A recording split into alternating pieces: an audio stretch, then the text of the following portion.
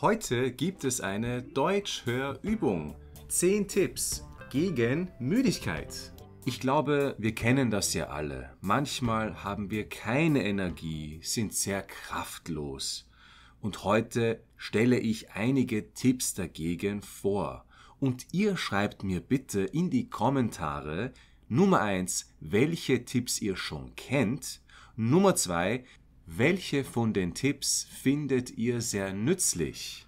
Und Nummer drei, hast du vielleicht noch andere Tipps? Wenn ja, dann schreibe sie bitte in die Kommentare. Also, dann starten wir mal mit der Nummer eins. Hast du das gewusst? Du könntest gegen Müdigkeit Kaugummi kauen.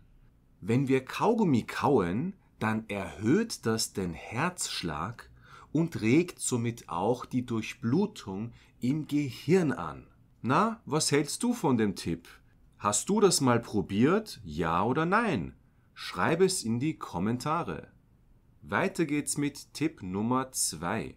Du könntest gegen Müdigkeit auch deine Ohrläppchen massieren. Das nennt man auch Akupressur. Massiere einfach deine beiden Ohrläppchen für kurze Zeit, vielleicht für ein paar Sekunden, mit deinem Daumen und mit deinem Zeigefinger. Du kannst auch ein bisschen an deinem Ohrläppchen ziehen. Und auch das regt die Durchblutung im Körper an. In anderen Worten, du fühlst dich ein bisschen munterer und wacher.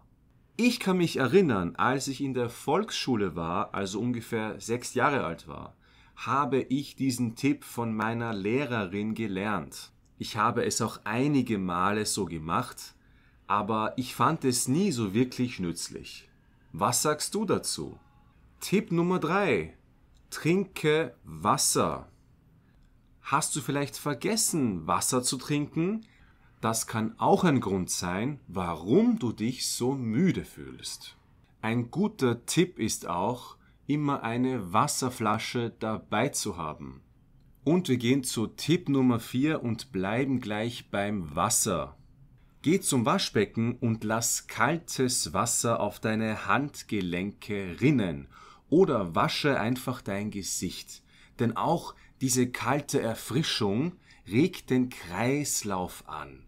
Du kannst aber auch einfach eine kalte Dusche nehmen. Manche Leute machen das ja gerne am Morgen.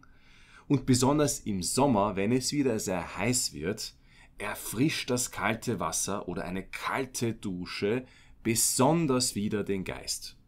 Tipp Nummer 5. Steh auf und mach ein bisschen Stretching.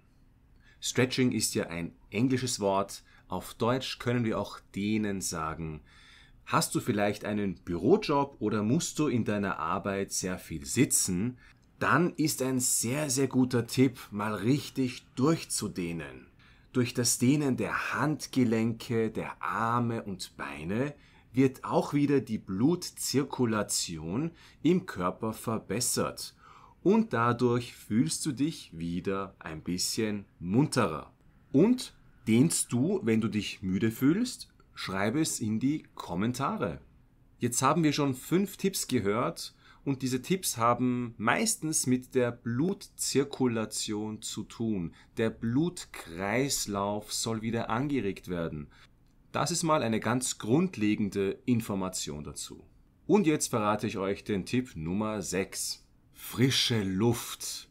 Geh ins Freie, geh nach draußen und atme tief durch. Wenn du gerade nicht rausgehen kannst, dann öffne mal das Fenster. Am besten ist natürlich hinauszugehen, einen kurzen Spaziergang zu machen und tief durchzuatmen. Ungefähr 15 Minuten leichte Bewegung ist perfekt, um sich danach ein bisschen wacher zu fühlen. Und nicht nur ins Freie gehen, sondern sich auch ein bisschen von der Sonne bescheinen zu lassen, hat einen sehr, sehr guten Effekt auf den Energiehaushalt. Bei Tipp Nummer 7 geht es ums Essen. Wenn du müde bist, dann versuche Lebensmittel zu essen, die leicht verdaulich sind. Denn für schwer verdauliche Lebensmittel braucht der Körper noch mehr Kraft und du wirst dich noch müder fühlen.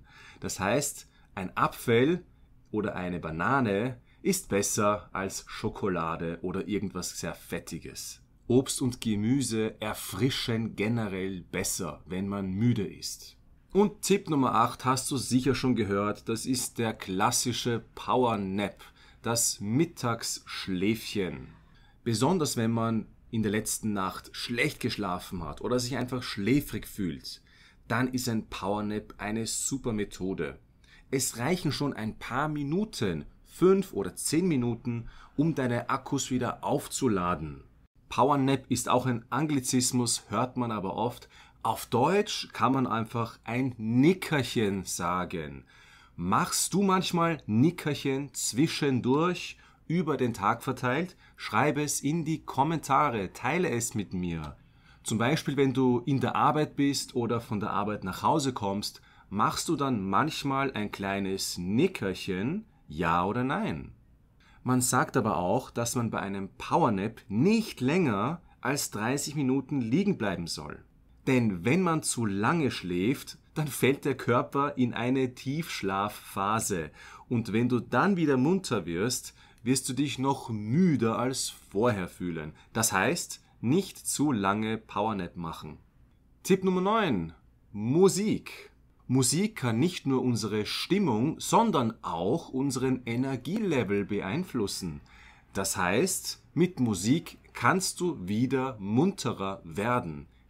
Vielleicht solltest du schnellere Rhythmen und nicht eine Schlafmusik auflegen. Und Tipp Nummer 10.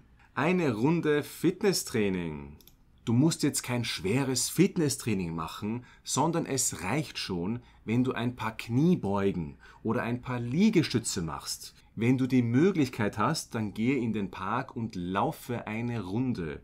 Der Sport erhöht deine Herzfrequenz und du wirst wieder mehr Energie haben.